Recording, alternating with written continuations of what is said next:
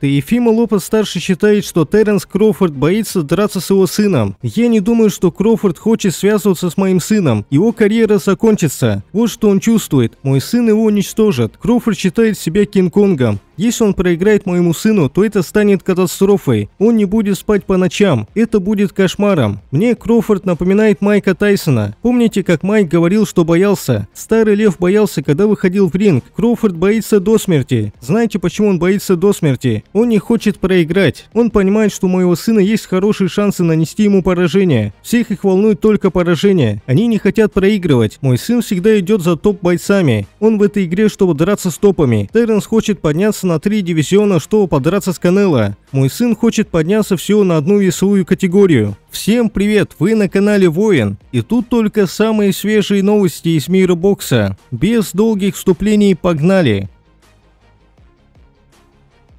Бывший чемпион Джонни Нельсон отреагировал на предложение президента WBC Маурисия Сульмана, чтобы на бою Усика и Фьюри работало 5-6 судей. Думаю, число должно быть нечетным, потому что здесь могут начаться проблемы. Судьи должны быть ответственными, к ним следует прикрепить счет или резюме. Мы видели несправедливые решения в нашем спорте. Мы видели вмешательство в наш спорт, но никогда не было личностей тех, кто это делал. Судьи найти легко, но ты их просто забудешь. Ты же не будешь помнить, кто судил бой между Леноксом и Ивандером. Нужна большая прозрачность работа судей. Если у них будет 5 судей, это хорошо. Но не нужно делать четное число. Это просто создаст больше проблем. Джош Локхарт, диетолог Фьюри, рассказал, как поможет Тайсону быстро расправиться с рассечением. Высокое содержание белка очень помогает, поскольку организму необходимо перестраиваться и восстанавливаться. Много белка, много воды и жидкости. Именно такие продукты помогут более быстрому заживлению рассечения. Например, чеснок – отличный источник, который поможет вам быстро восстановиться, поскольку убивает бактерии и микробы в порезах. И красное мясо – ключевой источник белка. Я не из тех диетологов, которые говорят, что еда решит все, но с течением времени она оказывает огромное влияние с точки зрения восстановления и травм такого рода. И все же самое главное – это время. Врач сказал, что рассечение затянется через три недели. Люди не понимают, что для обычного человека такое рассечение не является проблемой, но если ты будешь получать удары по лицу, это займет много времени. Даже май – это рановато для боя, но я знаю, что Фьюри хочет сделать то, что должен, и поэтому я думаю, что он справится. Восходящая звезда легкого веса Кишин Дэвис предъявил претензию Саулю Альваресу. Все знали, что Канело побьет Чарла, верно? И все знали, что он победит Калиба Планта. Так что его слова про то, что от боя с Крофордом он ничего не приобретет, звучат как оправдание. Сауль, братан, ты адский боксер, я тебя уважаю, но ты делаешь оправдание, чтобы не драться с другим великим боксером. Крофорду следует продолжать вызывать Альвареса на бой. Тим Зю высказался в адрес советника Флойда Мейвезера, Леонарда Эллерби и Шона Портера. Прекрасно, только будьте уверены, что поставили свои деньги на тот же результат, про который говорит ваш род. Но я еще думаю, что это хорошо, иметь самые разные мнения по поводу боя. Когда у людей вопросы и сомнения, тогда они и ждут поединка. И неважно, чего ты достиг, критики будут всегда. Так что Леонард Тейлорби и Шон Портер и все остальные, кто ставит на Турмана, мне это нравится.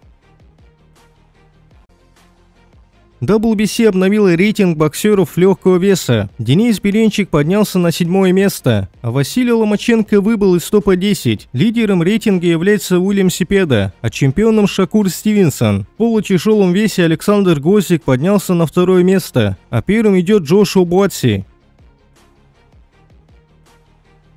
Джош Тейлор и Джей Кеттерл провели агрессивно анонсирующую пресс-конференцию, обменявшись угрозами и обещаниями. Я с нетерпением жду, когда закончится наш бой. В первом поединке он не смог побить меня, и уж точно не сможет этого сделать во втором. Когда я снова побью его, ему некуда будет идти, он уйдет в отставку. Он никогда не станет чемпионом. Я завершу его карьеру, которая у него так и не получилась. Он никогда не станет чемпионом. Хорошо, что наш реванш назначен. Я готов урегулировать наш спор. Он здесь, чтобы его побили. Я знаю, как это сделать. Это вопрос времени, когда он снова окажется на канвасе. Джош, тебе конец после этого боя. Через 9 недель ты ляжешь спать.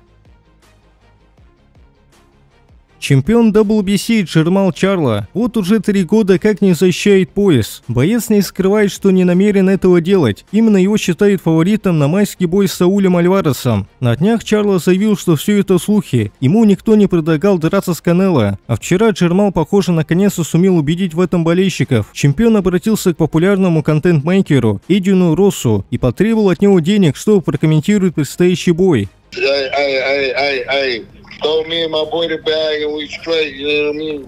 Судя по голосу, Чарла был пьян. Росс дал понять бойцу, что не платит за интервью. Болельщики бокса немного в шоке. Теперь они и сами не верят, что Чарла соротится в мае с Канело. Судя по голосу, он неделями не просыхает и подозревает, что Джермал нуждается в лечении и ему пора на пенсию. Бывший чемпион Пол Малиняджи прокомментировал предстоящий бой Усик Фьюри. Усик проиграет Фьюри и завершит карьеру в мае. Он уйдет на пенсию раньше Кроуфорда. Он завершит карьеру следующим. Александр – серьезный парень. Но я думаю, что сразу после поражения он поймет, что у него нет шансов вернуть титулы. Фьюри слишком большой для него. Усик проделал отличную работу, получил три титула, но ему будет очень сложно с этим великаном. Тайсон может снова заявить о завершении карьеры. Не поймите меня неправильно, но этот парень уходит на пенсию каждые две недели. Я считаю, что Усику не победить в этом поединке, даже несмотря на то, что Фьюри показал ужасное выступление против Фрэнсиса. Сейчас Тайсон получил такую необходимую мотивацию. Усик подумает о том, что он и так много добился в боксе золотые медали, победы на международных турнирах, чемпионские титулы в двух дивизионах.